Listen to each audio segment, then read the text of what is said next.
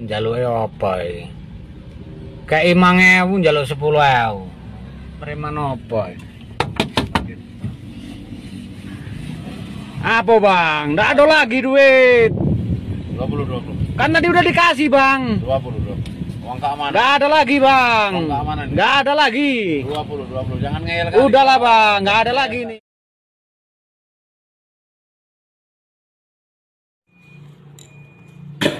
Assalamualaikum warahmatullahi wabarakatuh. Nama nama saya Safi'i, umur 41 tahun, alamat Batu Raja, Ogan Komering Ulu. Sehubungan dengan beredarnya video pemerasan atau pungutan rial oleh preman ter- terhadap sopir truk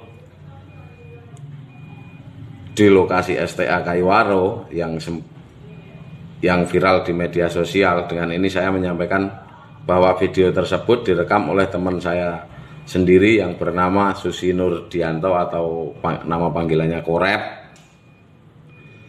yang berperan sebagai kor sebagai supir truk yang berada di dalam mobil dan saya nama Safi'i berperan sebagai preman yang membawa sepeda motor kemudian meminta uang kepada korban di dalam mobil tersebut.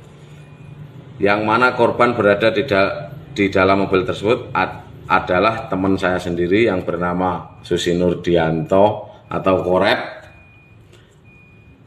Yang di Jawanya kita satu kantor di kantor ekspedisi GND Banjarnegara.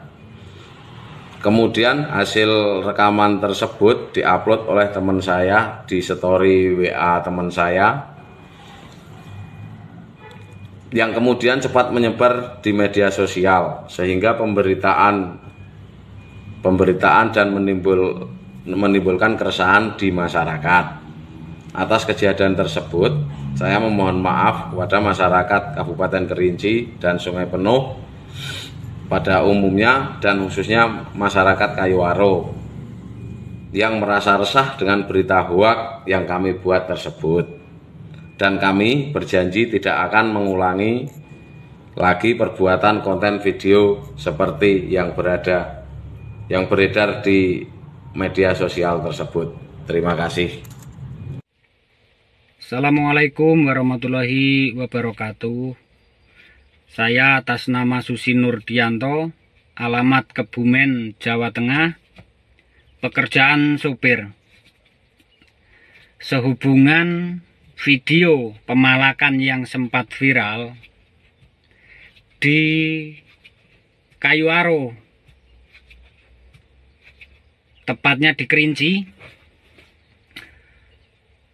itu video pribadi saya. Jadi video diambil hanya semata-mata buat lelucon. Yang bertujuan kami kirimkan khusus untuk anggota ekspedisi saya. Karena yang berpura-pura jadi preman pun satu ekspedisi sama saya. Itu bernama Safei dan yang berpura-pura jadi korban itu saya sendiri. Berikut saya sendiri juga yang merekam. Atas kejadian tersebut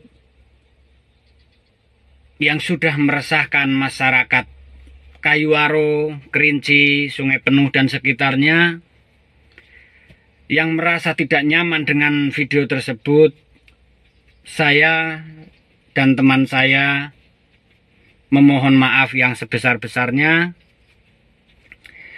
dan saya berjanji tidak akan mengulangi lagi membuat video tersebut. Jadi saya praktekkan agar lebih percaya itu video hanya lelucon. Jadi seperti ini kemarin kurang lebih. Preman nopo ngono ki? Dikai 5000 njaluk 10000. Nah, kayak gitu ya mungkin kira-kira kemarin. Jadi sekali lagi saya pribadi dan teman saya atas nama Safei memohon maaf yang sebesar-besarnya Dan saya berjanji tidak akan mengulangi lagi. Karena saya merasa sendiri di Kerinci sangatlah aman dan bebas dari pungutan. Sekian,